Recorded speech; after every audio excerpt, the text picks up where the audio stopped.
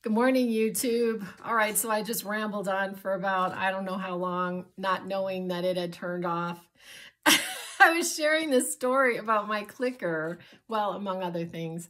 Uh, my clicker, I had this really weird thing happen like a month ago where I I wanted to make sure that my my little clicker was working for the holidays because we like to take a lot of pictures with myself and my children, my family, we every single year we take like Christmas pictures and Thanksgiving pictures and and so I wanted to make sure that it was working properly so that everybody could be in the picture. But anyway, so I my batteries had had died in my clicker. And so I had bought these new batteries and they didn't seem to be working.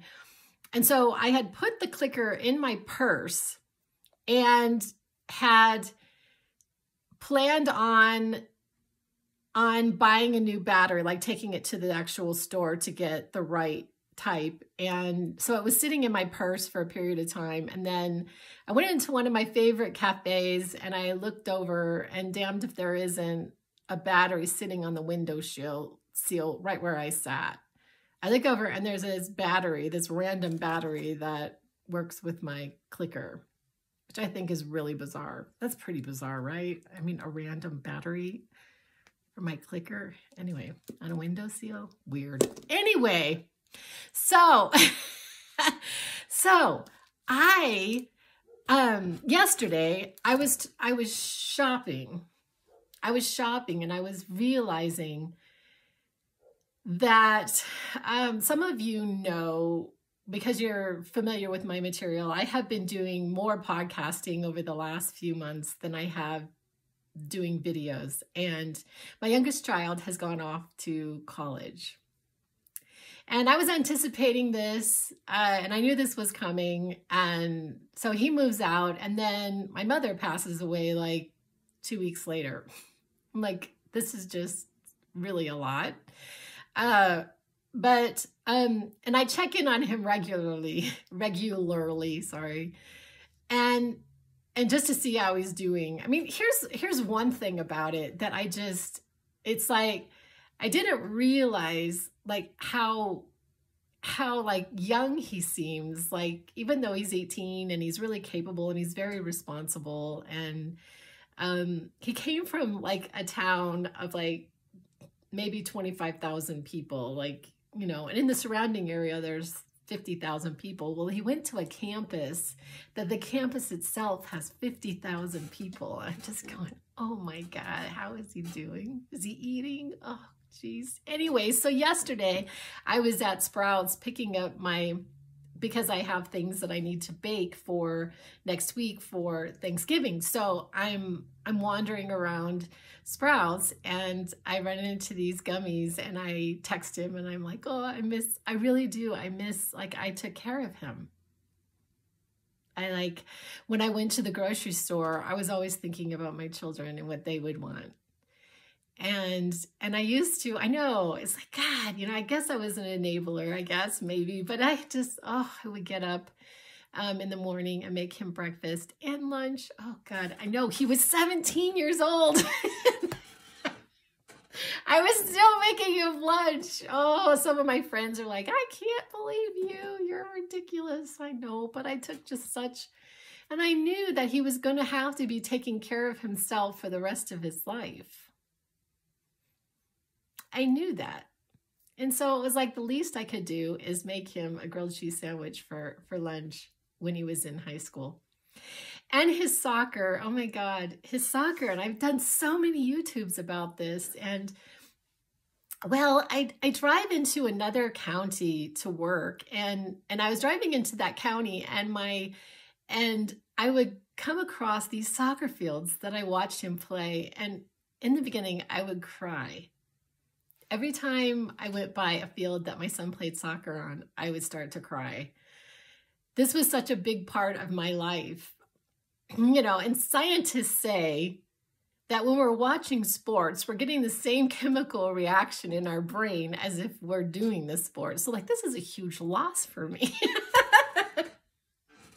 I'm not getting my soccer fixed anymore. Like, what am I going to do?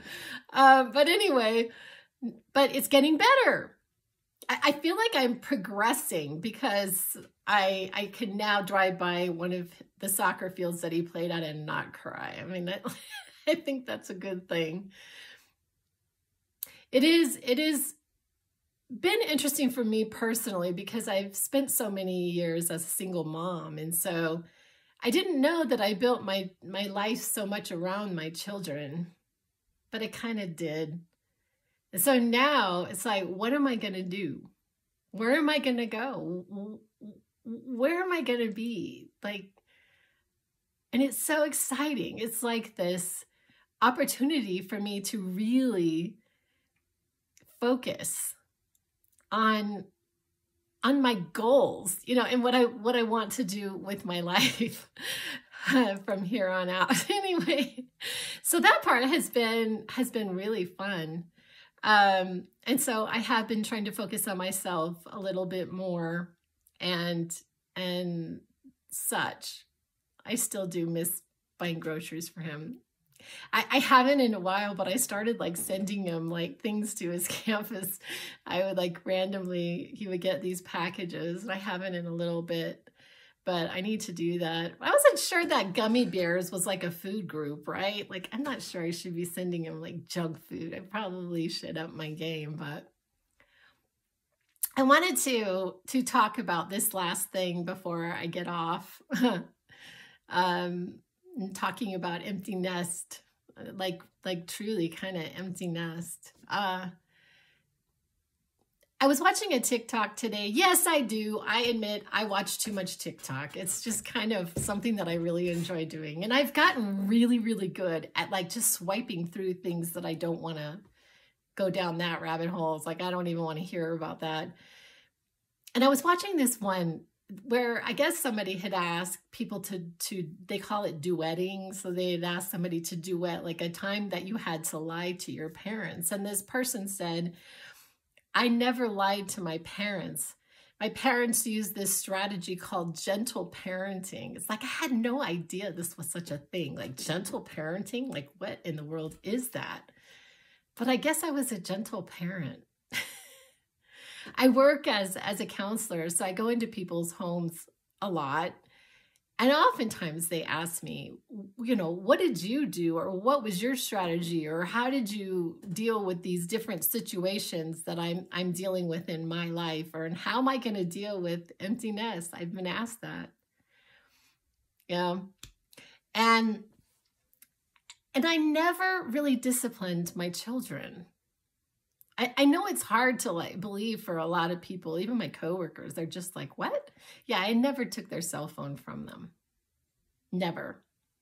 I never took their cell phone. I never grounded them. I I I basically just loved them and thought the best of them and had high expectations for them because of their own potential. And and even now I feel like they're not my children are not overly boastful. They're not like conceited or anything like that. They're like really, really neat people. But I think that they actually still don't even think as much of themselves as they should because they're just amazing people. Just they came to this world amazing and they continue to be amazing. And I think it's more about the relationship and the trust that was built and and let and if they were to lie to me, the worst part would be breaking the trust that we had between each other. There were times where I knew they weren't telling me the whole truth. I have to admit that. I could tell, or I have like this intuition. I'm like, oh, they're not telling me the whole truth. And then I would have to think about it. Are we entitled to a little bit of privacy? Especially growing up. I mean, there's going to be stuff that my children are not going to want to talk to me about. Me just learning to be okay with that as long as they're careful with their choices. it's like, I'm thinking about that movie. I can't think of the name right now where she's screaming out the window of the middle school, make good choices. And the child's like walking away in shame. I always wanted to say that. Just make good choices. Make good choices. And I feel like they have. They've done a really great job. And anyway, I'm looking forward to the holidays this year. This will be the first year without my mom. And it's going to be kind of weird. It's weird to not buy her gifts because I always bought her gifts. oh, I just, I'm going to tell you this quick story and then I'm going to go. But it was, um, so I was always buy my mom's CDs because she really, she really loves like Yo Yo Ma. And so I was like, these new CDs would come out like, um, I can't think of the guy, the this other guy that was like in her time. Um, Bennett, I think is his last name. My god, my memory's not really great. But anyway, so like the newest CD would come out and I would buy it for her. And then she would say, Well, I don't have a CD player. And I'm like, okay. So so I I end up buying her a CD player. So a CD player comes to her house by Amazon, and and then I'm like, "Oh, mom, did you get your CD player?" She goes, "Oh yeah, I can't figure out how to use it." And I'm like, "Oh no, oh well." Firstly, she didn't know how to plug it in because it was you know one of those those kind of you know what I'm talking about, kind of like this. So she didn't know how to plug that in. You know, she's of a generation they didn't have these most of her life. And so I ended up, I actually bought her this very one and had this delivered to her, this very one that had like two of them on there. She's, and oh yeah, I got that, but I I still don't know how to use it. I'm sorry. I'm just thinking, oh my gosh, mom, like it's not rocket science. You just push this into this and put it in the socket, right? but anyway, so then so then later on, um, I end up spending the night at her house. Like not that long ago. I think it was like in June. So I spend the night at my mom's house and I can't figure out how to turn the damn thing on. I'm like, I'm like, wow, this CD player must be like like defective or something. I don't know what's going on here, but I can't I can't even turn it on. So I end up um and then I, I and then I think, oh, well, maybe I should read the directions. so I read the directions, and you have to pull this little lever on the bottom of it, and then voila, it turns on. So, so then I had I because I really this sounds so nuts, but I had I had the CD player in my own cart because I have a whole bunch of CDs that I would like to play, but I I don't have a CD player. So I had it in my Amazon cart, but then I was like thinking, well, if my mom's not going to use hers, then I'm going to I'm going to take that one back. Which sounds kind of mean, but like if it's just sitting there and not doing anything, I'm I'm going to take it back. So I go to visit her the weekend, actually the weekend before she passes away, and damn if she's not using it she she did she's been using it. I i was like oh my god that is so cool. And then she passes away three days later and i'm i'm thinking very in my little um, i have like a, a crazy sense of humor and i was like well this is one way to get the cd player back. It's like oh my god. So my mom passed away and i'm like okay my to my sisters i have dibs on that cd player. It's mine. And i got I got a whole lot of her CDs, and so I've sorted through, and and um, it's going to be a weird year not buying my mom CDs. it's going to be weird, but um, we we just move on in our lives with loss, whether it be our children moving off to college or our mom passing away. We just we just move on. We just have to. Life goes on, and um, I feel like I'm doing pretty well with all of it. I'm I'm carrying on, and making goals, and gonna make those happen. So, anyway, I love you guys, and I will be back.